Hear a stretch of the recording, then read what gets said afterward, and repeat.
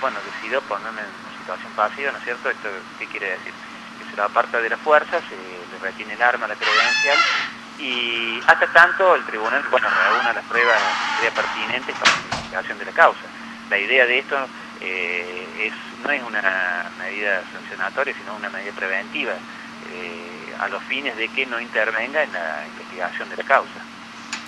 Bien, esto puede incidir en diferentes investigaciones que estaba llevando a cabo Leonardo Hein. ¿Cómo queda su, su tarea hasta el momento?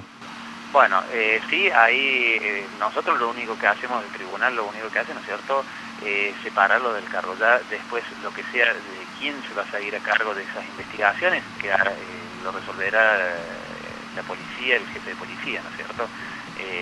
como así también en cuanto a los traslados y quién va a quedar en el cargo del comisario.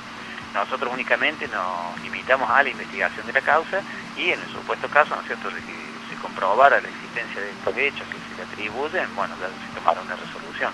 La idea de esto es que eh, no intervengan en la investigación.